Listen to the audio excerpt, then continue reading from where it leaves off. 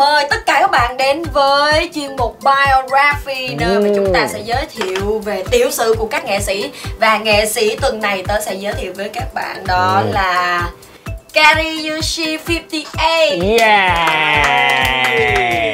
Nhạc của nhóm này khá từ Hải Nam Đúng rồi Hơn nữa giai điệu lại nhẹ nhàng ồ nhạc. Nhiều người đi hát karaoke. Trong bài của nhóm này hát lắm.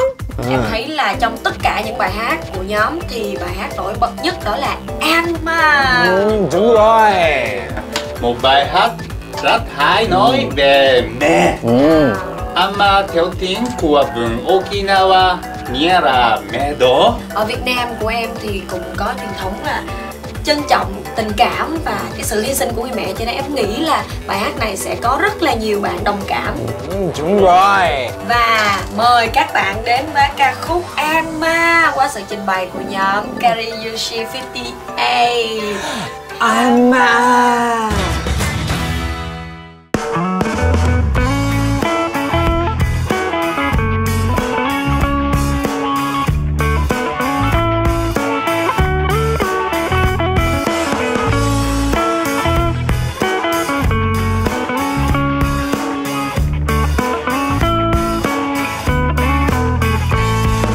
初夏の晴れた昼下がり私は生まれたと聞きました。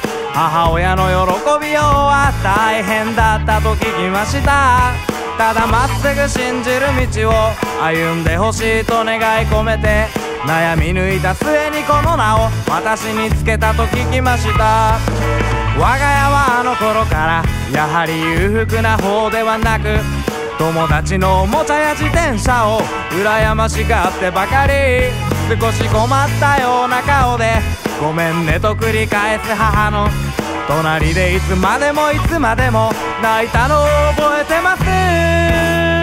あんまよ。あなたは私の。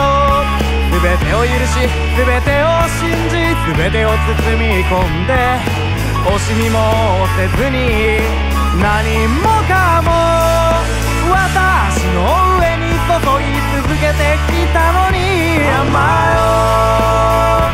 私はそれでも気づかずに思いのままに過ごしてきたのでした。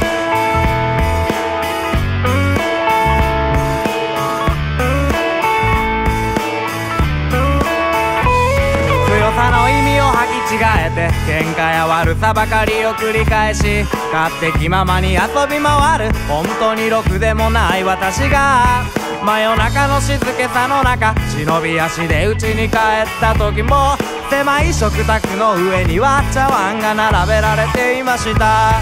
自分の弱さに目を背け言い訳やごたくを並べ何もせずにただ毎日をダラダラと過ごし続け。浴びるほどに飲んだ私が明け方眠りに落ちる頃まだ薄暗い朝の街へ母は出て行くのでした。あんまよ私はあなたに言ってはいけない。決して口にしてはいけない言葉を加減もせずに投げつけてたのに甘えよあなたはそれでも変わることなく私を愛してくれました。木漏れ日のようなぬくもりで